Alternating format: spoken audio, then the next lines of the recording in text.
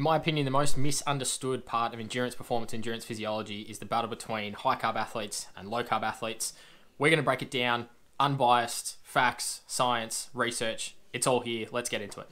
Hey guys, Nick here. Welcome back to the channel. If you haven't already, please hit the subscribe button down below. Already a couple weeks into being on YouTube here and already almost at 50 subscribers. Been awesome. Thanks for some of the great positive feedback on the videos so far. So yeah, if you haven't already, hit the subscribe button down below. More of these videos coming soon. We're going to get straight into it. As I said in the intro, this is probably the most misunderstood um, part of endurance performance, endurance physiology going out there, and so much misinformation on the topic.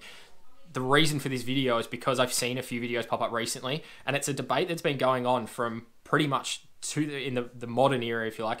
2013 is when things like keto and low carb, high fat really started becoming more and more popular again. And why I say again is because it's the second coming. We saw this happen in the 80s as well um, and if you have a look at some of the research, a lot of the uh, original research on keto and things like that for performance was done in the 80s, dumped for a while, and then brought back in sort of 2013. And we've seen it become a bit of a mixed feature in endurance performance and physiology over the last little while, with athletes really sitting at polar opposite ends of the spectrum typically, and there's just this arguing debate. So this video here today is all about breaking down just the facts, the science, the research, and what is actually happening. Um, I, I'm not taking either side here because I do see benefits in both approaches, and I think it's more of a case of we need to be able to merge the key components of both of them to be able to get a positive outcome in the end. I'll explain that later on. But I just want to be very clear that all, everything I'm about to talk through is just what happens in the human body. We can't necessarily change some of these, th- these things. And I'm not here to change your philosophy or ideology. I'm not here to bash on low carb or I'm not here to bash on high carb either way. I'm just here to break down the facts because we need to talk in a manner of terms of um, fact of the matter, physiology, what is actually happening internally in our body, what can the body do, what can't it do. Um, and then we can form our opinions on all right, what is better for you from a personal perspective versus what is the body needing from a performance perspective and make some very clear distinctions. And I think a lot of the confusion comes from just misinterpreting some of the information. So we're going to go through it step by step and take you through. I know this is probably going to be a bit of a long video, but please stick around to go through that process. I might even leave some tags down in the description below so you can go to each of the time points and revisit time points um, for all the key sections of this video as well. But the first thing we need to talk about is the basics of what we call respiratory exchange ratio. And why I'm starting here is because this is the ratio between carbon dioxide and oxygen um, internally in the body when we do any sort of performance low intensity, moderate intensity, high intensity across the entire spectrum. We're always going to have some sort of ratio of oxygen to carbon dioxide.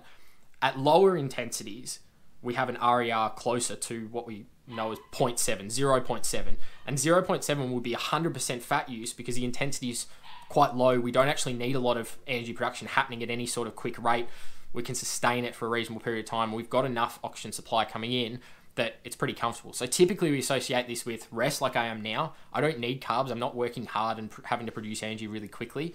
I'm here resting. I can get oxygen in nice and comfortably. I've got time to break down that, that fat source to be able to create the energy as well. Because fat oxidation is a really complex process. Fat as a whole is a giant molecule. If we take one molecule of fat, there's a lot going on and breaking it down takes a large amount of oxygen, a large amount of time. We do get a lot of energy, which is a bonus. So that's why I can sit here at the desk for hours on end, um, even if I'm not really eating throughout the day. I can still sit here for hours on end. You can sit for a long period of time doing minimal activity because I don't need a lot of energy being produced, but I need energy sustained. So fat is a good source here. Low intensity exercise, you go out for a slow, slow run, very slow ride, things like that.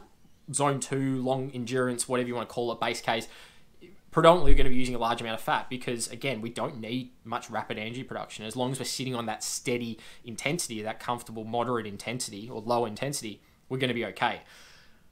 On the other end of the spectrum we have a respiratory exchange ratio of 1.0 which is the, pretty much the, the, essentially the highest we can get to. You can get to things like 1.1 when co2 really starts to get up there. That's uh, up at vo2 max and just past but a 1 indicates that we're at 100% carbohydrates. So really anything past 1.0 is irrelevant because we're producing enough carbon dioxide that we're starting to really, we're, we're, we're majorly using carbs as our fuel source because that's where carbon dioxide is being produced from.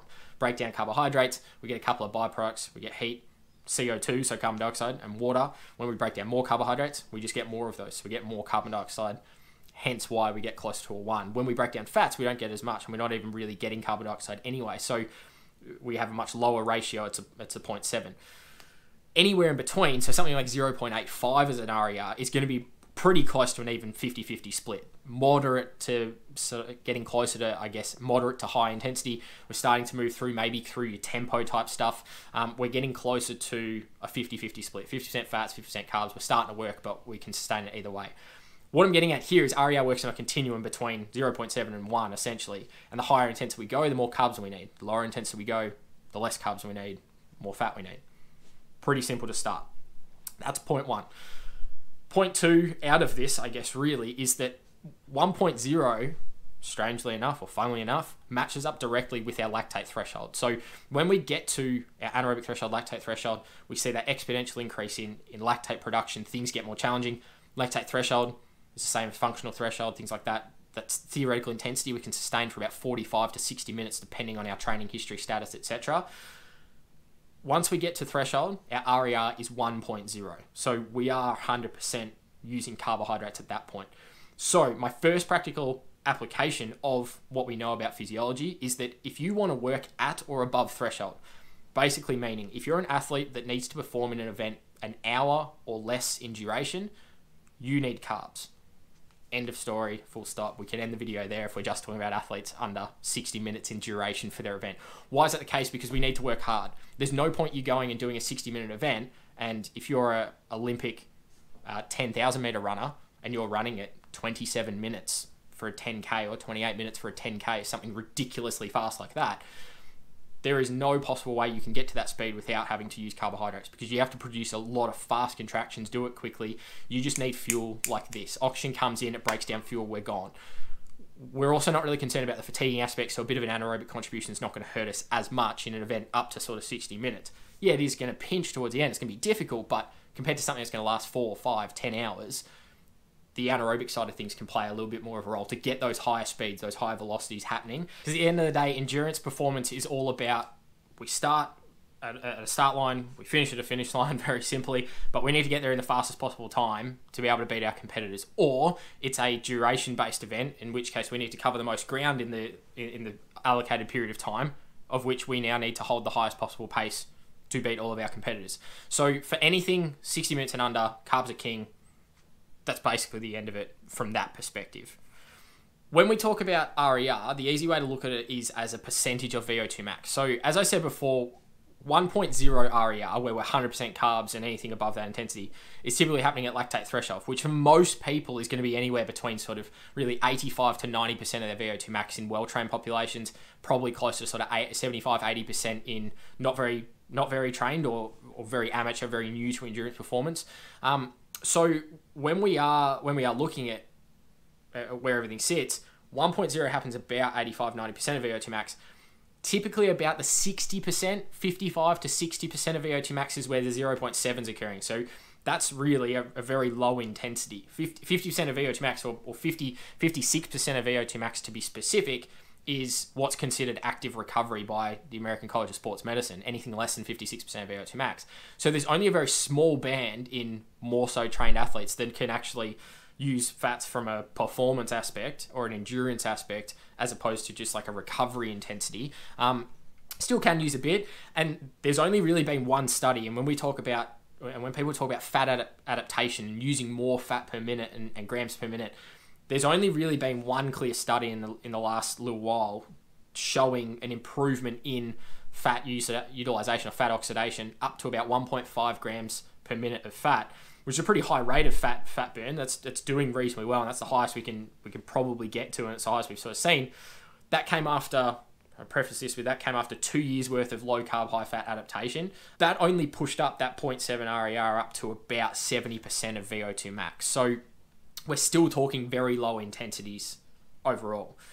What we now have to consider is that as we get fitter, everything shifts relative to VO2 max. So basically, what we've done is we haven't necessarily changed anything from an RER perspective or, or utilization of fuels. We've just moved the whole engine up, so it's just as effective and efficient as before. And this is where metabolic efficiency comes in usage of fats and carbs to be able to change chemical energy into mechanical work is that we haven't necessarily become any more efficient. we're just better overall. So it's just all scaled up in relation to where our engine is. And it's a critical part that we need to consider is that, yes, we can get up to 70% of our VO2 max. That's only going to make an improvement to our performance if we can hold a reasonably high pace for 70%. So we look at pro- professional athletes, and if I take a really high level triathlete, for example, professional Ironman, their 70% of VO2 max is an incredible speed. Um, they've got incredible engines, so they can afford to sit on that high intensity, and that's why they get a fast race result at and some of those athletes can be a bit of this low carb, high fat, is because they're actually sitting on quite a low percentage of their top end engine. Um, but they can, and they, because they're doing it at a speed that is a lot faster than the average person, they're obviously going to end up with a fast race result. So we can't get confused or, or caught up with, well, this professional athlete goes out and he does an eight hour Ironman and he's a low carb, high fat athlete. Um, well, yeah, maybe he is, and he can do an eight-hour Ironman. Doesn't mean the average age grouper who's doing a twelve-hour Ironman can get down to a nine-hour Ironman because of low carb, high fat. If that that that amateur athlete is working at 75, 80 percent of their VO2 max. I mean, as we've seen, the highest we've seen in the research is seventy percent of VO2 max is the, the utmost for maximum fat utilization. It's the type of thing that, like, it, it, it's not. We're not looking at it in the right way. We're just taking parts of information and go, mashing it all together and going, yeah, it's the way to go. And I'm not bashing low low carb, high fat by any means by saying this. It's just what the objective truth is through the research.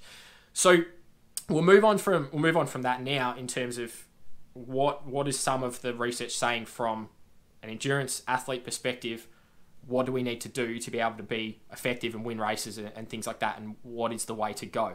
All right so there was a lot of research done and i'm going to reference uh, a lot of the work done by louise burke, who, burke here who is an ais dietitian nutritionist. She's been there for 20 25 years one of the leading dietitians nutritionists in terms of research and, and practically applied space in high performance sport um, around the world let alone australia. So what she did and she's had a big emphasis on basically looking at what is low carb, high fat, and cops a lot of flack for some of the research she, that she does purely because of what I said before between this just back and forth argument between both sides of the spectrum. And she's just going into the research, and I was lucky enough to listen to a presentation of hers earlier in the year as part of my master's, is that she's just going into the research going, well, what are the facts of the matter? Let's test your hypothesis and either prove it correct or prove it wrong because that's how science works. It's a very simple process, but at the end of the day, I think a lot of that just gets mixed, missed with just this argue, argument back and forth. Um, so a lot of her studies, interestingly enough, were done on race walkers, and I find that a really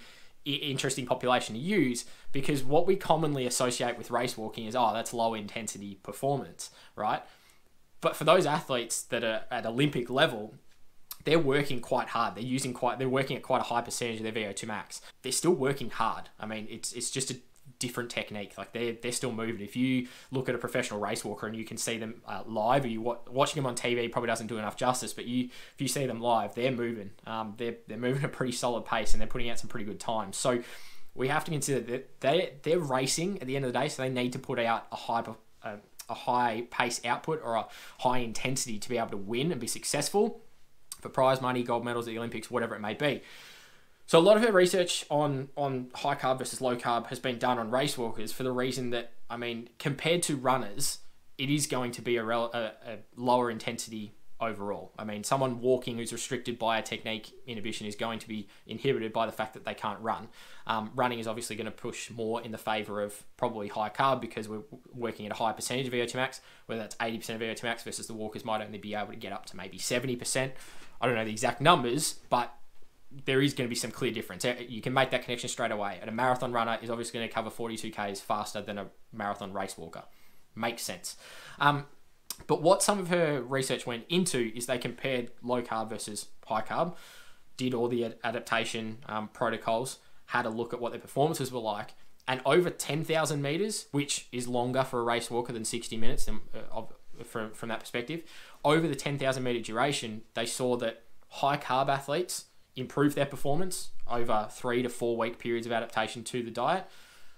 Low carb athletes reduced performance. So performance got worse over that period by about 1%. High carb athletes got better by about um, sort of 7%.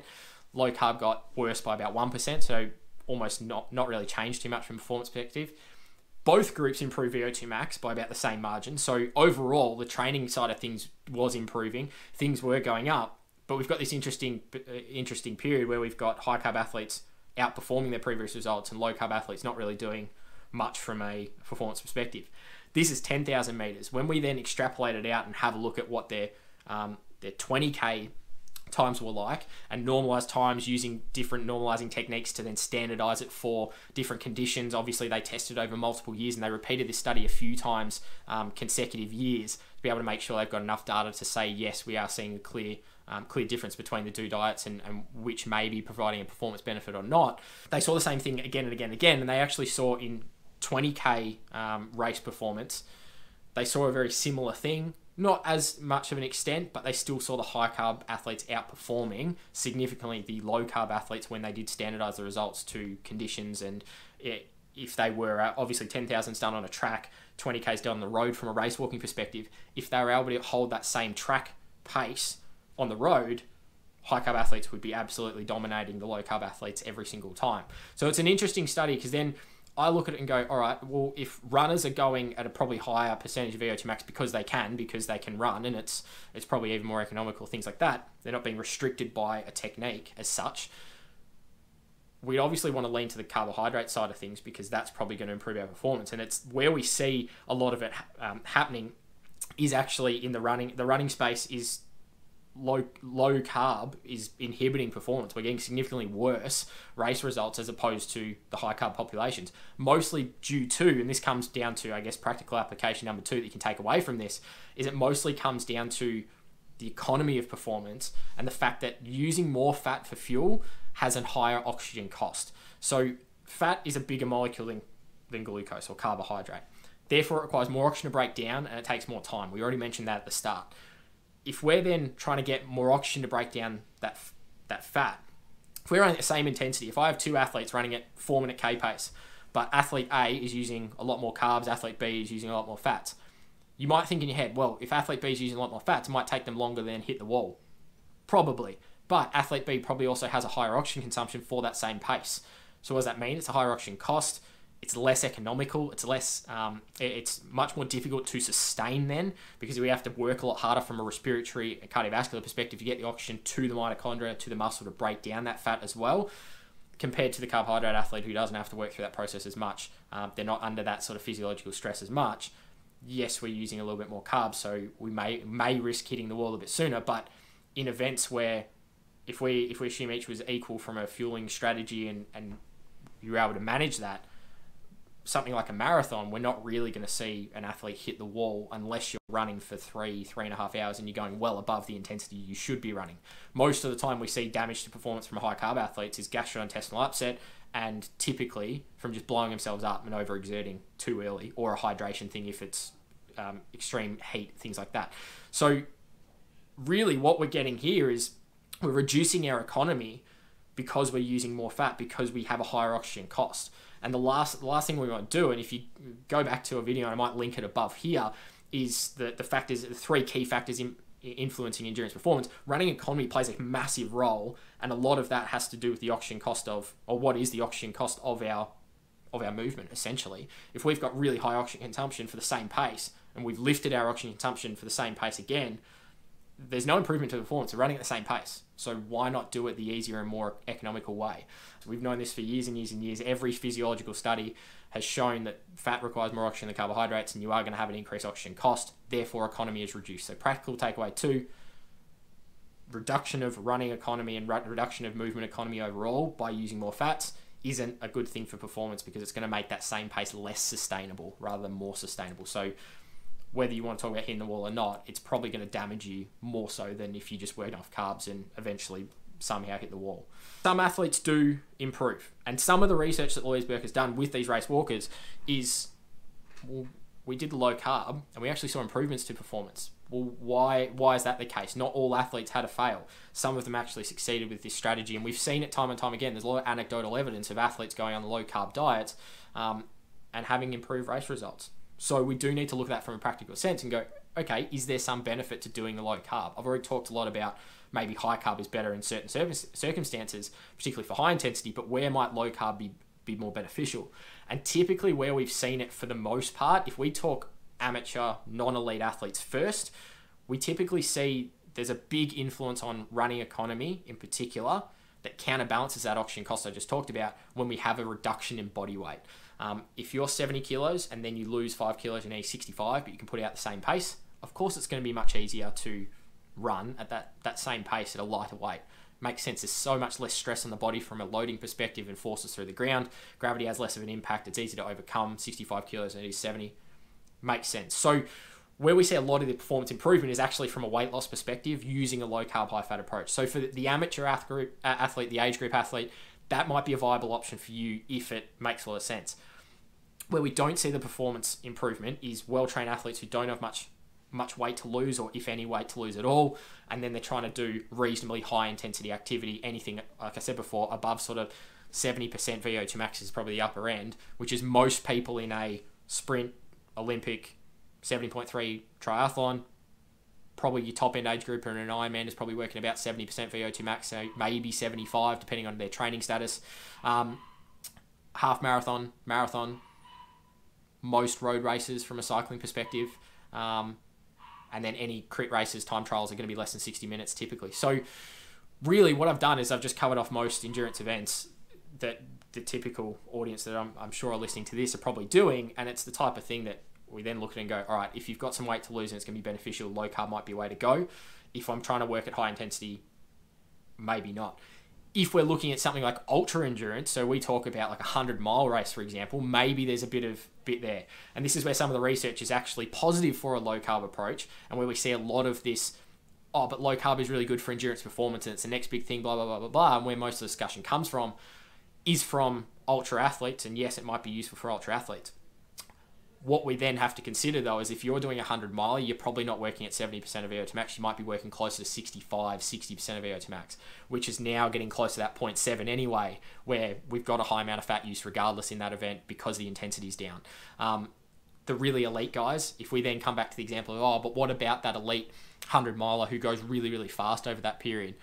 Well, yeah, but their endurance overall and their VO2 max and their, their overall aerobic engine is probably massive you have to then consider how much training they've done to be able to get to that point.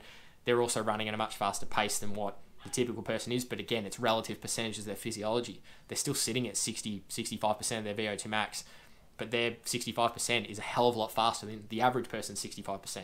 So if you're working at a, a sustained pace, at 65% of VO2 max or less, you're probably going to be okay. And low carb might actually be really beneficial there because it is going to, anytime we get carbs into the system, it is going to spike our insulin and spike that carb burning effect. And we're going to burn through carbs a lot quicker when we do have that, that jump in in carbohydrate or, or glucose coming into the blood and the, the body senses that. It wants to use it. Um, so maybe suppressing that a little bit is going to be beneficial for ultra distance events where we are working at very low intensity. Um, but we're now talking about a very different scenario compared to a marathon runner. And we can't just blindly apply the same principles for one across the other. We have to look at the unique circumstance, the intensity relative to that person's overall engine that they're working at, the duration they're going to be working at it for.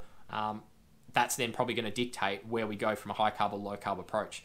Some of the research is starting to head into, well, maybe we can do some periodized approaches as well. And this is another thing, and I'm probably going to throw this up as, I guess, practical application three to take away from today's video is the cycling through a low carb into high carb approach throughout the annual training cycle. So there's inevitably periods of the year, and now is a perfect one where a lot of athletes don't have much racing, um, they don't have much specific preparation to do because things have all changed with the, the current circumstances. A lot are going to be going out and just working on their base aerobic, maybe doing some maintenance of some high intensity. We're not really worried about performing optimally. You don't need to be at optimal performance in a lockdown period when you can't race. Um, unless you're doing some sort of virtual racing, maybe a different story. But if you're not racing at all, you don't need to be at optimal high intensity performance. Doing some high intensity is going to maintain some of your adaptations um, and maintain your overall physiology and aerobic performance. But it's not like we're going to have to race for, for any extended period of time. Uh, and we, we don't necessarily need to be working there for long periods of time. We're just doing it for a maintenance aspect.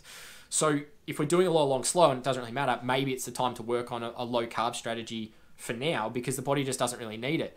And a trap that a lot will probably fall into at the moment is if you're sitting a lot at home, you're just going out and training. What we're forgetting is we're taking out, all right, you had to walk to the train station to get to work, or you had to walk from the car park to get into work. You're walking around the office all day.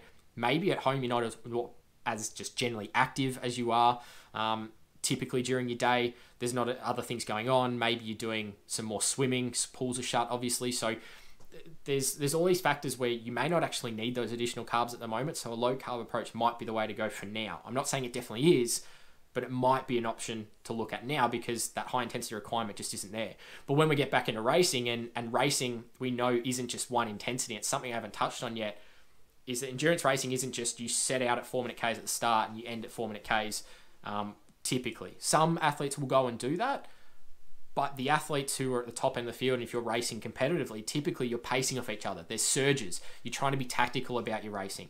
Um, if you lose the you lose the wheel in a, in a crit race, you got to hammer it to get back on the wheel because everyone else behind you is probably going to crack it. But at the same time, you need to keep up with the others. So you need to work hard and have these intermittent bursts of en- uh, bursts of energy coming through or bursts of high high intensity happening throughout. It's you look at any power profile over the course of most races from a from a cycling perspective over long long races, road races, Ironman, etc. You see cruising, cruising, cruising, spike for a couple of minutes to catch a wheel, cruising, cruising, cruising, spike again. We see the same in running. From a from a high intensity perspective, there are these ups and downs. So we need the carbs for those moments. Um, we also need the carbs to sustain that that average output. But when those moments go even higher, we need it there. If we're trying to pick up toward the end, we're going to need carbs to do that ultra endurance may be a different story. There's going to be bigger time gaps between athletes. You're out there for 100 miles, for example. So you, you're probably going to want to sit on a very consistent intensity not play around with the intensity too much. So my last takeaway is is really you, you we need to be focused on what is the outcome of the event, what are we actually required to do, and what is happening. That's going to dictate our fueling strategy, whether we go more of a high carb or low carb approach. But like I said, when the high intensity efforts aren't as um, aren't as critical in the part of the training or a critical in part of the cycle. If it's not, uh, if you're doing a six month period where you're not really training for anything, maybe low carb is the way to go because there are some good health benefits in terms of not putting on weight or uh, even reducing weight if that's uh, important to you. But it's the type of thing that, from a performance aspect, we just need to be careful on how we look at these approaches because it can be quite harmful to your performance in some regards, but it can also be beneficial depending which way you go in your individual circumstances overall, in summary, I'm going to leave you with this. Basically, break down your event. What is specific to you first? Do you need to be working at high intensity? Yes or no? Do you need to be at a sustained intensity or are there intermittent bursts of bursts of uh, higher intensity periods throughout? If there's intermittent bursts or you have to work at a reasonably high intensity, 70%, 65% of VO2 max and above, carbs are the way to go still, regardless. Carbs are the way to go. You're obviously going to have to fuel throughout, but that's any race that goes for a long period of time. You're going to have to refuel. 60, less than 65% of VO2 max, ultra endurance, consistent intensity, no no spikes up and down. Low carb might be the way to go there. There there is a there is enough scope to go either way. I'm not saying one is better than the other, but in certain circumstances, we clearly see that some are, uh, that high carb is better than low carb. In some other circumstances, like ultras, we see low carb might be a little bit better than high carb. It's just the way it is. Like I said from the start, we're talking facts, we're talking science, we're talking research. This is just an objective view, uh, an outsider's view. I don't have any biases. I'm not linked to any um, cookbooks or, or methodologies behind this. I just look at it from what it is, from what the body can do, and how we can optimize performance at either side in the appropriate circumstance and get a positive positive outcome. So I'm going to leave it there because I know this video is already long enough. And thanks for staying around this far if you already have. I'm going to leave uh, the opportunity to ask any questions down in the comments because I think there's a lot we can talk about here and there's a lot of variations of, of what we can talk about for specific uh, circumstances. So if you do have a very specific question, please leave it in the comments below. If you haven't already, hit the subscribe button so you can keep up to date with the rest of the content coming up on the channel. I'm exhausted. I hope you're not listening to all of that. I know it is a long one. I apologize for that, but there is a lot we can talk about. I'm probably going to have a few more videos on this in the future, touching on some progressions and, things as we go. So hopefully you enjoyed today's video, and we'll see you in the next one.